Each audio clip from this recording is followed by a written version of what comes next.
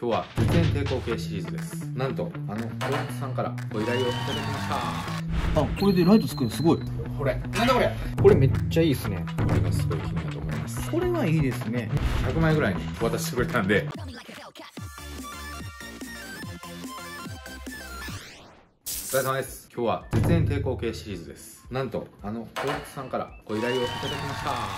まあこの2個あるんですけどちょっとこちら今置いといて。これこれが標準のものです開けていきましょう。説明書なども入ってたと思うんですけど。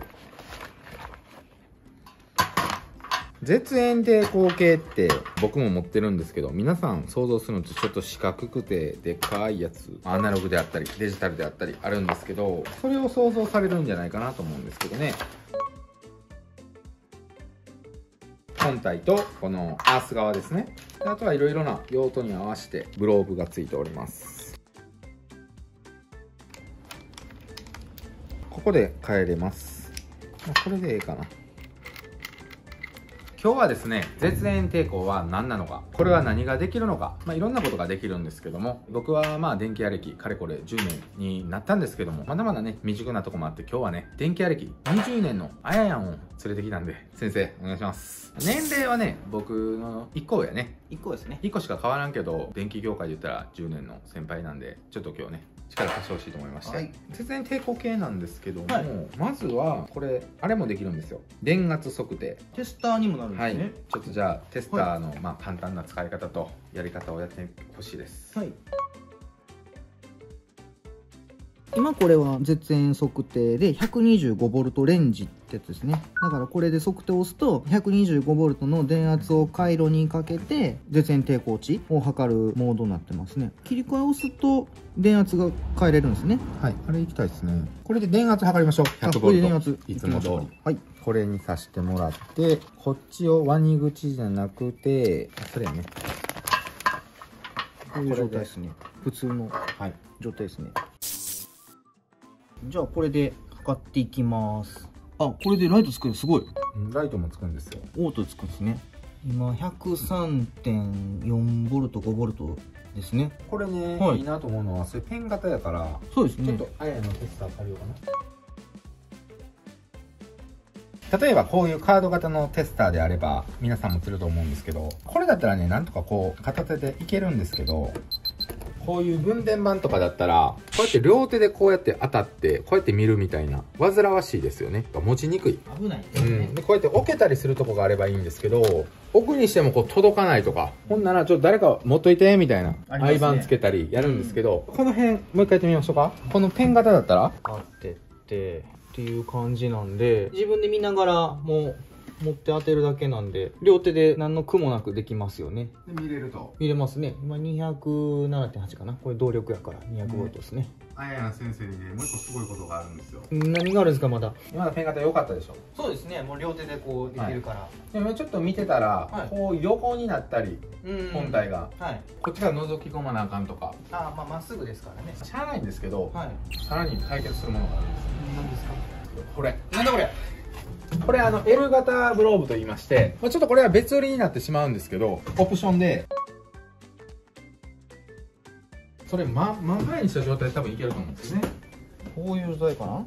これでこういけるわけですね。そうこれめっちゃいいですね。見やすいでしょ？見やすいし現場によっちゃあれですもんね。この測ってる状態写真撮らなあかんかったりしますもんね、はい、数字を。これやったらめちゃくちゃ見やすいから数字も取りやすいしいいですね。ちょっと感動したでしょ？そうですね。これ初めてのパターンですよ、はい、まだね驚くべきところありまして。まだあるんですか？例えばなんですけど今あややんは一人でやってるじゃないですか、はい、でも管理者さんの立ち会いとか、設計士の立ち会いとか、はい、そういう竣工検査とかってあるでしょ？ありますね。でここにちっちゃい版で3人でこう覗き込んでみたいな。やってるのってあるしやりますね。ちょっと危ないとか。あんまり近づきたくないですね。ね、っていう時にね Bluetooth でこうやって反映されるんですよ。ちょっとやってくれます？電圧。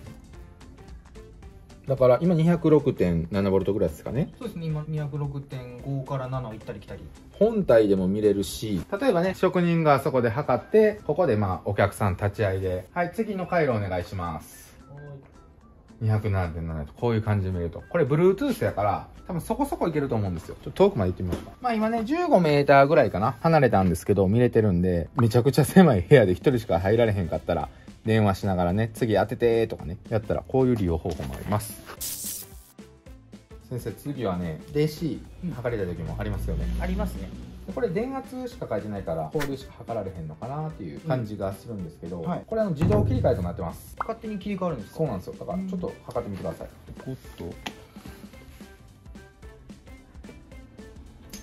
あ12.6でマイナス表示も出るはずなんですよ。あマイナス12.7ですね。でこれで直流のプラマイも見れるということです。どっちがプラスかマイナスかね。ここに DC って出るんですね。直流で。はい。ってことなんで交流から直流までどっちも測れますじゃあ今からねメインのと言いますかこれは絶縁抵抗系なんで絶縁抵抗を測っていきたいと思います。絶縁抵抗とは何のためにやるものなんでしょうか？回路最後竣工の時とかチェックするんですけど電線が白くって言って地面と設置してないかどうかとかあとはまあ線管黒と白うん同士当てて短絡してないかとか回路チェックの項目ですね。割とあれですね 100m ぐらい配線したものの 70m 時点で電線が破れてたりとか。特に配管の中入れる作業とかやったらちょっと無理して入れたりするとやっぱ被覆破れて短絡してるとかいうこともあったりとかするので必ずチェックしてくださいっていうことになってますね。じゃあチェックしてみてください。はい。これを長押しして絶縁の 125V に今切り替えました。今から測っていくんですけど今これブレーカー全部入ってるんで電圧乗ってる状態なわけなんですけどこの状態では基本測れないんですけどさっき説明書の限りはそれをしてしまった時にこいつが教えてくれるそうなのでやってみますか？それもやってみましょう。絶縁測定なので片方こっちはこのまあ色で緑色になってるんですけどこれを必ずあの設置アースにつなぐ必要がありますでここの配電盤だとこれが今アースなのでこれに今割り口を挟みます。ブレーカー入ってますね。こっちが虹側かな。そうです。はい。なので今入ってる状態電圧が乗ってる状態で当ててみます。はい、この状態だとブザーが鳴ってあと電圧が表示されるんで回路が生きてるっていうのがまあここのメーターで出てくるようになってますね。L 型の方がやりやすいですかね。あ L 型が見やすそうですね。L 型にしましょうかこれ本当便利ですねこの L 型は。こういうことですね。この状態では絶縁測定できないので必ず測定する回路は無電化無電圧の状態に